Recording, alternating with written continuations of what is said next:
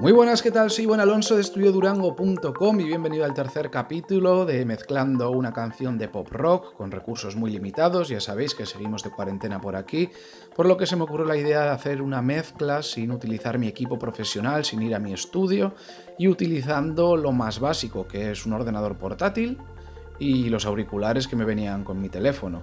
Estoy grabando mi voz a través de la grabadora que me trae el móvil, así que bueno, más limitado imposible. En el vídeo de hoy voy a hablar sobre la voz principal, los coros. Ese va a ser el grueso, ¿no? Cómo, cómo lo voy a tratar, qué efectos voy a escoger, reverse, delay. También, bueno, voy a ir ajustando algún otro instrumento por ahí, pero ese va a ser el núcleo, digamos. Es muy complicado dar títulos y hacer miniaturas para estos capítulos, ya que, bueno, sí que sigo un orden, pero no voy cerrando capítulos, sino que todo va sufriendo cambios según avanzo en la mezcla.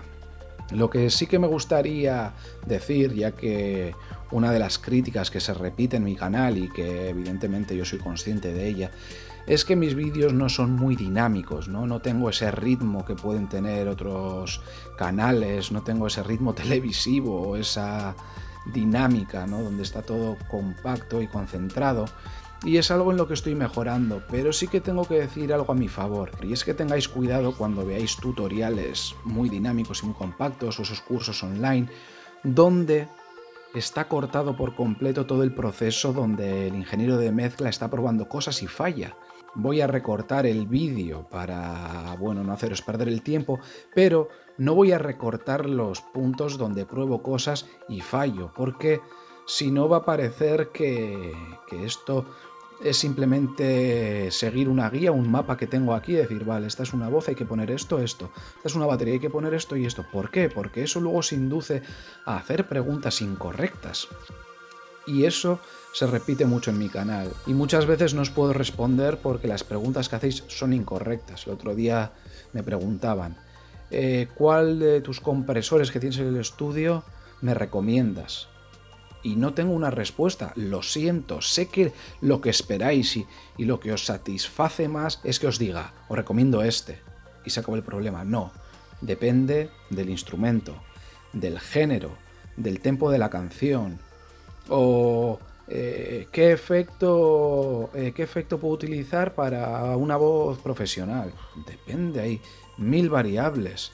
Siento responderos a menudo que lo que tenéis que hacer es practicar y practicar hasta que tengáis tantas herramientas que domináis que sea tan fácil para vosotros imaginaros en la cabeza lo que os va a dar cada una de ellas e ir eligiendo, evidentemente. No vais a acertar a la primera, pero bueno, entonces en este vídeo sí, yo voy recortando, pero por ejemplo en la voz principal elijo una plate que luego me arrepiento y la cambio por otra. Y eso nos pasa a todos, ¿vale? Por lo que cuando leáis una entrevista a un ingeniero de grabación muy famoso y le pregunten, en aquel disco que vendió tanto, ¿cómo sacaste el sonido de la caja? Y él responda, muy fácil, solo puse un SM57.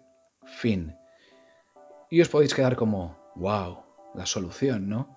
Lo que no os dicen es, utilicé un beta 52, eh, utilicé un Telefunken M80, utilicé, fracasé 15 veces antes, ¿vale? Por lo que todo tiene un recorrido y no todo tiene una respuesta tan fácil. Tenéis que afinar vuestras preguntas, ¿vale? Yo por mi parte intentaré darle más dinámica a estos vídeos, a hacerlo más compacto, pero no voy a quitar esas partes porque creo que es muy importante para, bueno, que sepáis sobre todo qué preguntar. Si aprendéis a preguntar, vais a obtener muchas mejores respuestas. Vamos con la intro y comenzamos.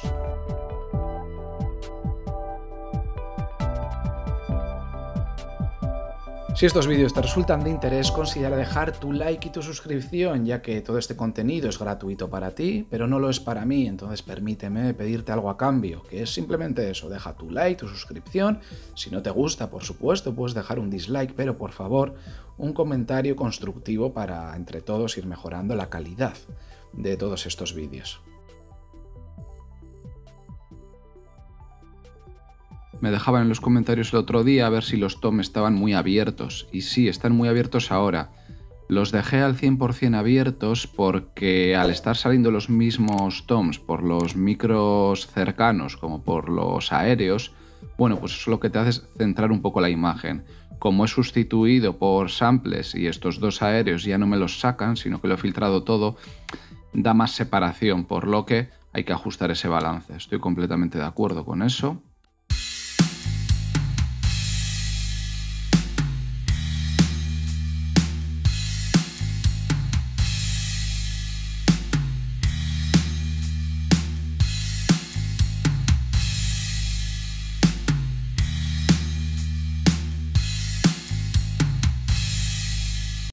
Ajustando la batería y el bajo.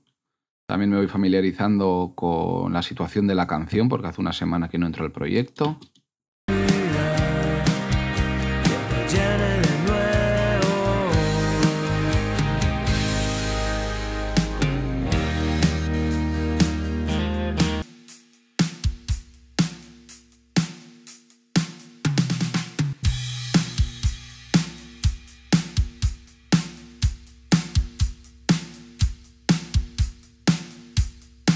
Estoy comprimiendo un poco la batería para hacer ese efecto de glue. La batería está compuesta por muchos instrumentos, bombo, caja, toms, etc. Entonces vamos a empastar un poco todo eso.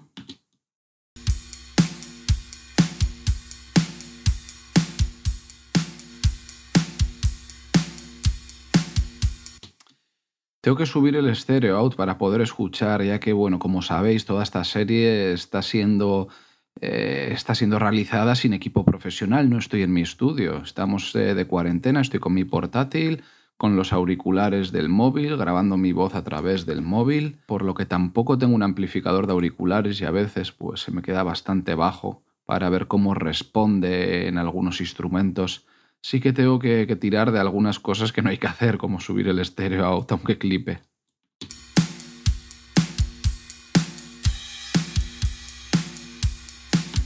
Si utilizamos el ataque rápido empezamos a comernos ya parte de los transitorios de la batería.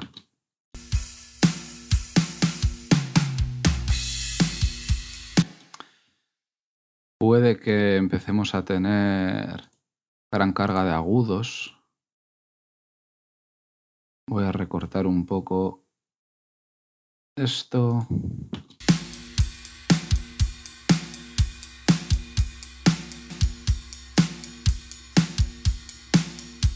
Lo desactivo. Lo activo.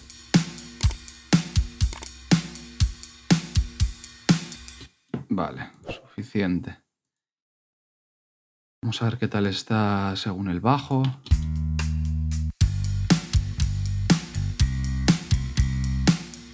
Teníamos un compresor aquí con sidechain.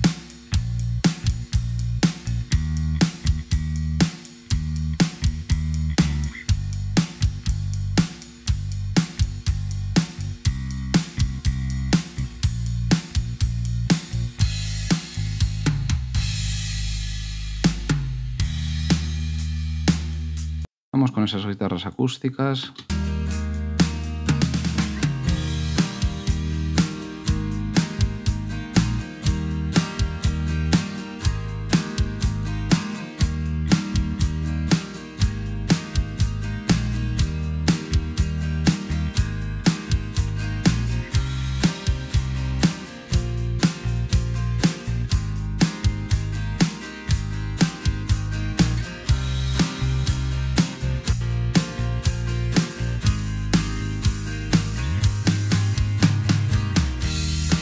Voy a usar un siguiente efecto que va a ser una pequeña room.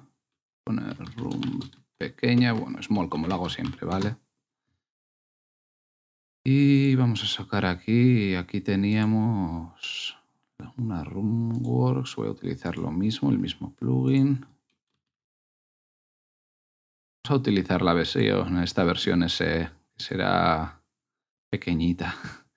Vamos a utilizar algún preset. Como digo siempre, nunca recomiendo presets para temas como compresión o ecualización, pero sí lo recomiendo para efectos como delays, reverbs, eh, trémolos y cosas así. A veces suele ser inspirador, entonces bueno, vamos a poner room, eh, small quizás, Los Ángeles 2019. Desde luego tiene mi atención. Vamos a ver qué pasa aquí. Uh, siete segundos. Creo que no va a ser buena idea. Bueno, vamos a ver qué tal suena.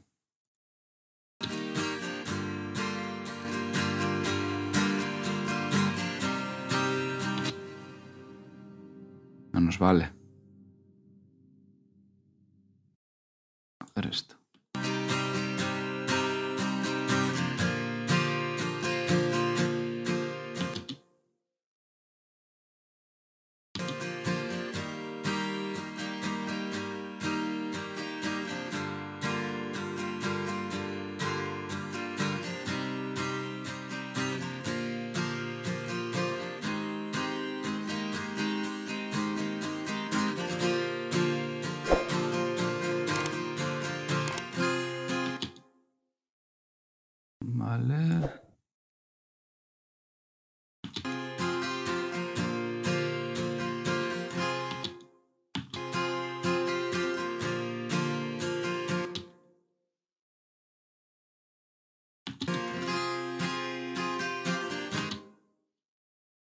Vale.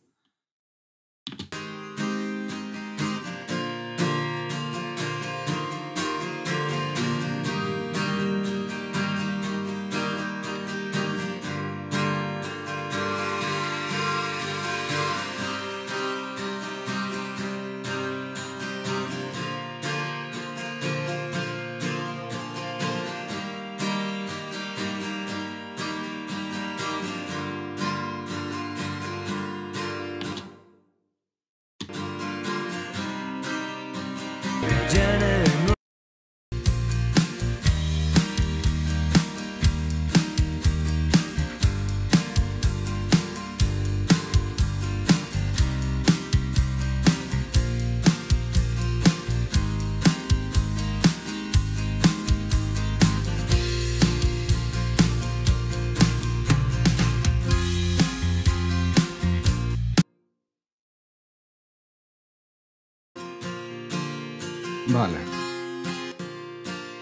A comprimir estas guitarras acústicas para controlar ese rasgueo. Eh, por ejemplo, sor de serie, quiero que el strip esté antes que las inserciones.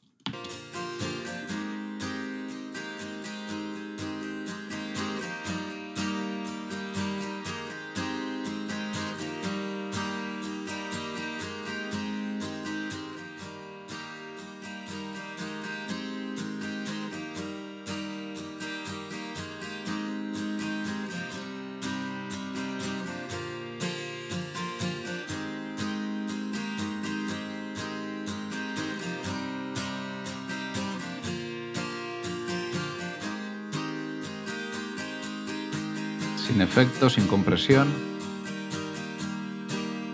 y con compresión y efecto.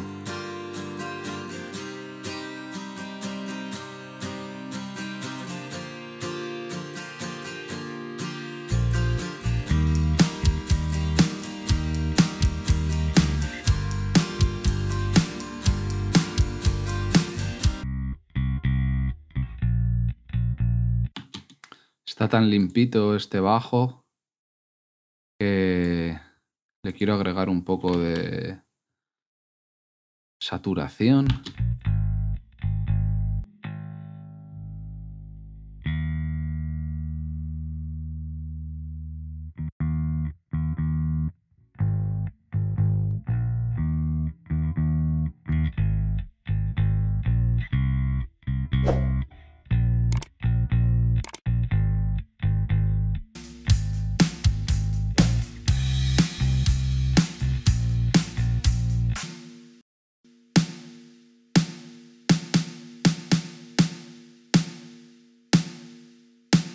Vamos a ver si funciona enviando la caja independientemente a la reverb esta pequeñita.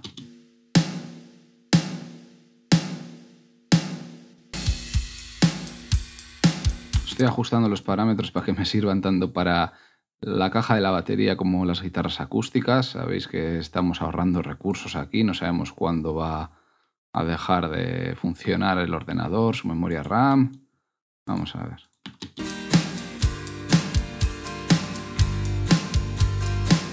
Todas formas, lo que sí le voy a llamar es large. un lugar mejor. Vale, vamos a por una plate para esa voz. Como veis, sí que sigo un orden, ¿no? En cuanto a lo que es organizar el proyecto, eh, buscar el sonido de la batería, el bajo, sí que hay un orden, pero luego me muevo mucho por lo que me va pidiendo la canción. Tengo que buscar, tengo que encontrar un lugar mejor.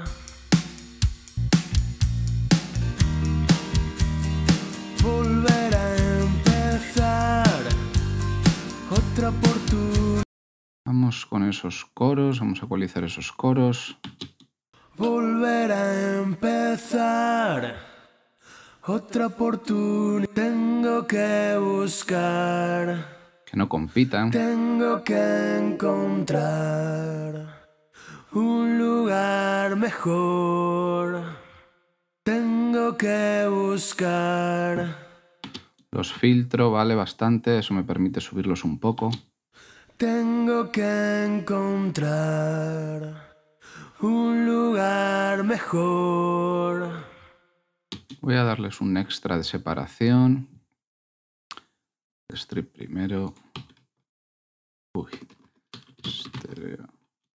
Me he ido automáticamente al S1 de Waves, que era el que usaba hace mucho. Tengo que buscar. Tengo que encontrar. Si lo quito, un lugar mejor. Lo activo. Tengo que buscar. A comprimirlos. Tengo que encontrar un lugar mejor. Tengo que buscar. Tengo que encontrar un lugar mejor. Que buscar, tengo que encontrar un lugar mejor. Tengo que buscar, tengo que encontrar un lugar mejor. Vale, vamos a sacar otro efecto. Vamos a probar el estéreo ya que lo he puesto ya. Eh, todo al máximo porque es un canal aparte, trabajamos con envíos. Tengo que buscar, tengo que encontrar un lugar mejor. Seguramente eh, Dave Niza no estaba buscando que se escuche las otras armonías, ¿vale? Entonces, bueno, esto es bastante, puede ser algo bastante propio de cada uno.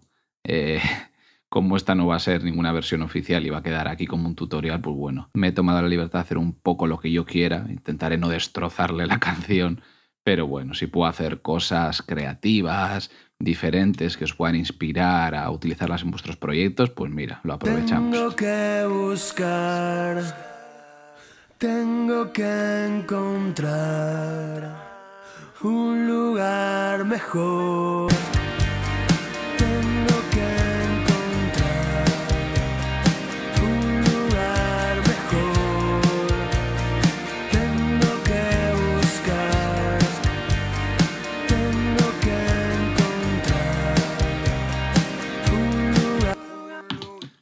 Me encanta cómo queda, quizás hay demasiadas repeticiones, pero me encanta cómo parece la armonía, sobre todo la que sale por la derecha, me gusta mucho. si soy el único, eso quiere decir que, la mezcla no es buena. Eh, a ver que me pierdo. Si quito el efecto. Tengo que buscar, tengo que encontrar un lugar mejor. ¿Vale? Pues evidentemente lo que le está buscando es crear esas capas ¿no? de, de, voz para darle una textura, para reforzar el estribillo, ya que si hubiese querido hacer algo como lo que yo estoy haciendo ahora, pues imprimes esa pista de efecto también y se la sumas a la carpeta para enviar al ingeniero de mezcla de turno. Pero bueno, eh, a mí me gusta, espero que os sirva para algo, vamos a ver. Tengo que buscar, tengo que encontrar un lugar mejor.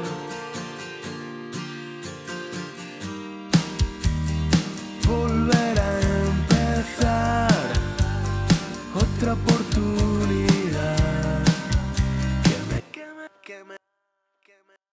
Eh, lo que veo es que, claro, esto eran unas armonías de refuerzo, ahora con este delay cogen algo más de protagonismo y se me quedan un poco secas, por lo que voy a mandar un envío al plate de la voz para situarlas un poquito, para no separarlas tanto de la voz principal. Encontrar un lugar mejor. Fuera el stereo enhancer.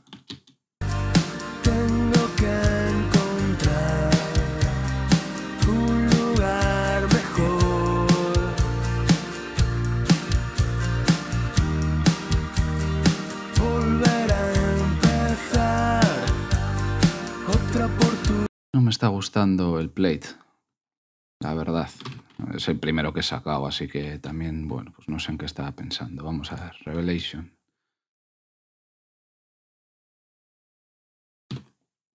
Plate Perf. Vale.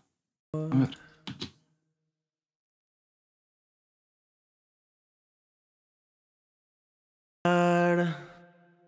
Tengo que encontrar un lugar mejor.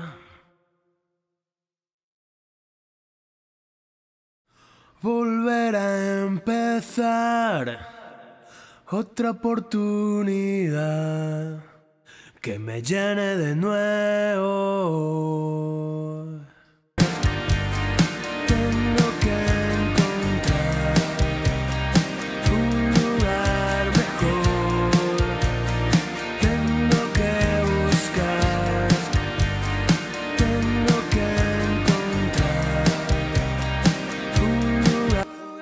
Yo me voy a quedar por aquí, creo que es un buen momento para cortar este vídeo, habiendo dejado las voces más o menos ahí en la rampa de salida, por supuesto sufrirán cambios en el futuro, y en el siguiente vídeo creo que ya podremos entrar un poco con esas guitarras eléctricas, esos pads, esos Hammonds, y bueno, simplemente antes de irme, recordarte que en estudiodurango.com tienes mucha más información y que si quieres trabajar conmigo y hacer uso del servicio de mezcla y mastering online, me puedes escribir a info.estudiodurango.com.